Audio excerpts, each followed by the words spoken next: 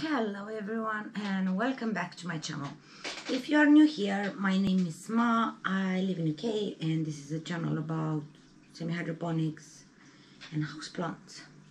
I'm sorry for today, but I don't feel well at all. My husband has a flu, a cold, uh, I don't know what, and he's working from home, so he gave it to me as well. So I'm dizzy, I have a awful headache but we need to do this because at least I need to be constant with my videos so excuse me for my lack of enthusiasm and to whatever you understand. English is hard you know. And right let's go in part two of my Hoya collection. I cut my hair. I look like a freaking boy now. I don't like it. Anyway let's move on um, right, so the first one, it will be a Hindu rope. This one, it was more like an experiment. Looks really well from the start, but it's in water because I can't remember why I put it in water. Ah yeah, I wanted to see how quick the water root will grow because obviously these are soil roots, so um, but they are kind of uh, mushy, all of them. I did all my best to clean the roots, but obviously you can't. So I think what I will do next, just to put it in leca, I will chop off all the roots because the, the, the plant is fine. She looks fine. She looks perfectly fine.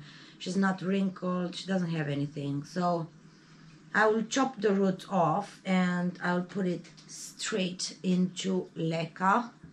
So that one Another one that I don't know what it is, but looks looked interesting to me. I'll take it out. She's in water because she didn't had any any roots and I was too lazy to prepare some water with nutrients and she has some roots, some pretty good roots, but I really like the leaves and they are so thick and thick and leathery. I think it's a carnosa, but don't know which one. It's a carnosa. Doesn't matter. It's a Hoya. I want them all. Right, remember when I've told you in my first video that that one, oh, shish kebab, that, that, this one here, it's Archiboldiana. This one, it's not Archiboldiana, it's Trebujana. I forgot about that because I have the Archiboldiana here. Actually, I have two of those, but this one it's in water now, and I'm trying to put some roots on her. They have really interesting, thick, dark leaves, but I will tell you that she, she's she's been in water for what three weeks now and there is no sign of roots. So I think uh, I think I'll put it in um, in leca straight into leca right so that was Archiboldiana. Hoya vitellinoides vitellinoides obviously a leaf because well a leaf and I've put water on my phone because yeah why not? Why not? Hoya vitellinoides. One leaf. Looks alright. I will not well the top of the leaf it's done but considering the size, I think I pay way too much for this one because I've got the one from Thailand that you see in the first one that was like that. Anyway, let's move forward. It's water everywhere here because I've took them from the humidity box where it's water on the bottom. So, and they don't have any saucers. So they are all wet. This is a Hoya Kentiana variegated. and water again dripping everywhere which still don't understand what's the difference between the Kentiana and the Shepherdii. Shepherdii? Yeah, I think it's the one. Because I have the Kentiana like non-variegated one. But the leaves, I don't think that's the Kentiana actually. Let me show you because there are so many people that know about Hoya that hopefully are looking on my channel.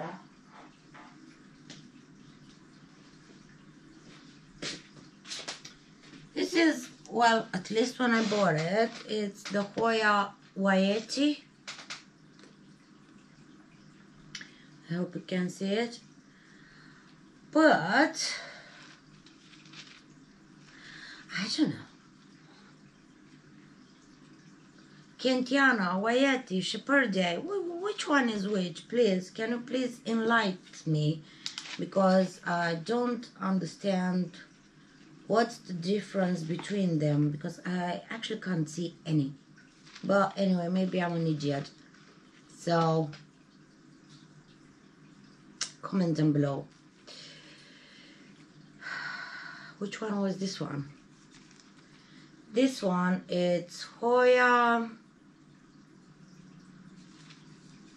sigillatis I think it's called like that sigillatis this one is in leca, obviously, because I was not so lazy to put it in water. But I don't think she has any roots. I can't remember. But I think she has now some roots. But yeah, they, they are getting, if I'm not wrong, I think with the sun, when you stress them, they are getting really pink, reddish in color. So we will see that whenever we'll have the sun. I don't know when um, another one that it's really interesting leaves, it's Hoya burtoniae, burtoniae, burtoniae, damn Latin. And she, she, has like really soft leaves and blackish, really dark in color and you can't see anything. And now I'm dripping water everywhere. They're really really interesting Hoya leaves. I mean, they're like fluffy, almost fluffy. They're not fluffy. You get my point. A Hoya that uh, everyone says it's really difficult, and I will tell you what, yeah, it is damn difficult. Right, I have a, I chopped it off. It was big, bigger. So it's the Hoya imbricata. Yeah, the Hoya imbricata, which is coming out like that, and you'll have you will have inside the root. Right, this Hoya, it's big. It's a huge fan of humidity, actually, not big fan of humidity. I don't think I will ever have her outside of the humidity box. At the moment, she sits in a thing like that on top of leca and I have another piece that it's I think it's doing better I don't know she sits on the leca as well I don't have any water anyway so but they are wet so we are okay okay. So yeah i heard that this one is really difficult for you to grow but well we'll see. We'll see how difficult they are. They are doing well so far. I have them already. So these are from my favorite seller like the sigillatis like the sigillatis these are from my favorite seller of Hoyas she's from UK. So if I don't forget, because I promised, I will leave her Facebook. No, my brain is not working right today. I will leave her uh, her oh. I will leave her Facebook down below in the description so you can message her and ask her if you have your favorite Hoyas. If she has your favorite did i mention that my brain is not working? I think i did. Right so it's not. Another one that i have for her from her i have more but i didn't want to overload this. Another one that i have from her it's the hoya lacunosa sv 403 let me see if i can. They they they look really nice.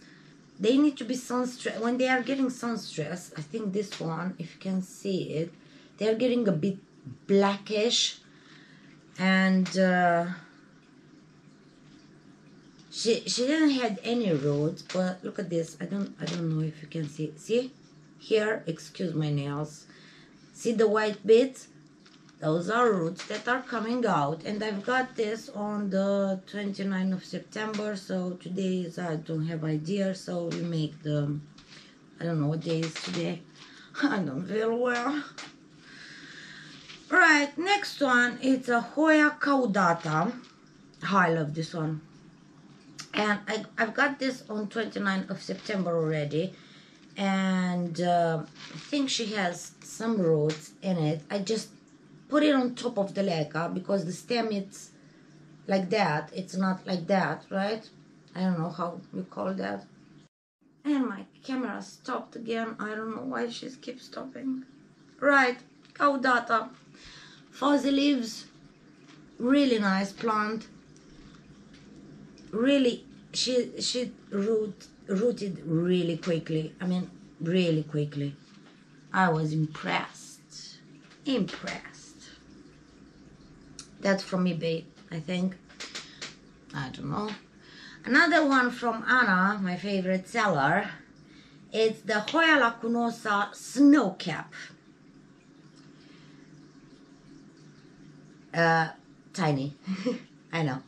I know she's tiny, but that's not the tiniest one that I have. I will show you next week uh, one that is even more tiny than this one it's still from Anna, but they are great and you can't find them everywhere and she has some roots. She grows some roots really quickly so what date is today? I don't know it's Wednesday. It's Wednesday 7th of October. So in eight days well she didn't have any roots but she has now some roots. Can you see them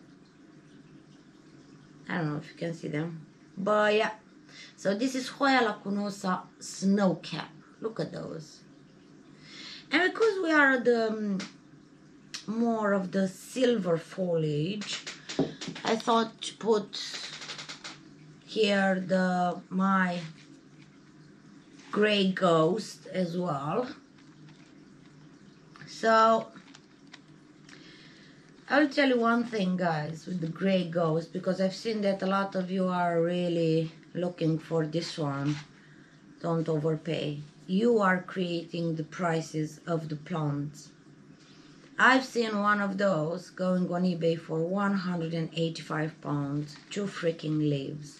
Two freaking leaves and it's gray ghost. It's not even so rare. If you know who to ask you will find it really quickly. And by the way i think anna has already some gray ghosts. So uh, it's not worth the money. And I, I bought it from ebay. I paid like 60 in an auction because well yeah and this leaf came broken and it was not broken in the pictures. So I was pretty pissed off but yeah I didn't do anything because I couldn't be asked to do anything. So guys remember when you are buying a plant especially from auctions don't overbid because most of them are not worth the money do you understand do your research i've seen i've seen um, the lacunosa snow cap right um one, one uh I don't know where I've seen it, but they were asking 150. 150 for two of those. Yeah? So, yeah, if you can afford to pay that type of money, oh, please do, by all means. But remember that when you complain about the high prices of the plants, we are all to blame because we are buying the plants of those high prices. So don't com- don't complain anymore about the high prices if you don't do anything and you are just buying the plant no matter what if three months ago it was 80 80 pounds and now it's 300 pounds and you are buying that plant knowing that three months ago it was 80 i'm sorry but it's your fault. A buyer can ask whatever he wants for a plant. The difference is he will have a a, a seller can ask whatever he wants uh, for a plant. But if you buy it or not it's your choice so see you next time guys. Bye